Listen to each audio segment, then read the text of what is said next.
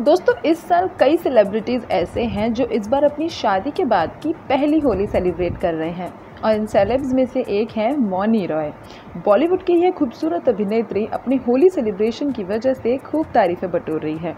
दरअसल होली के खास मौके पर अभिनेत्री ने इंस्टाग्राम पर अपनी कुछ तस्वीरें शेयर की, जिनमें वह अपने बिजनेसमैन पति सूरज नाम्बियार के साथ नज़र आ रही हैं। आपको बता दें कि मौनी शादी के बाद अपनी पहली होली सेलिब्रेट कर रही हैं और इस खास दिन पर एक्ट्रेस ने सूरज के साथ अपनी कुछ फ़ोटो शेयर की, जिनमें वह एक दूसरे को कलर लगाते दिख रहे हैं। दोस्तों, इन फ़ोटोज़ में साफ़ दिख रहा है कि मौनी ने अपने पति के पैर छूकर उन्हें होली की बधाइयाँ दी। एक्ट्रेस की ये फ़ोटोज़ सोशल मीडिया पर काफ़ी वायरल हो रही हैं। किसी फ़ोटो में मौनी अपने पति को रंग लगा रही हैं तो किसी में वो पैर छू रही हैं। दोनों ही इन फ़ोटोज़ में एक दूसरे को रंग लगाते और गले लगाते नज़र आ रहे हैं।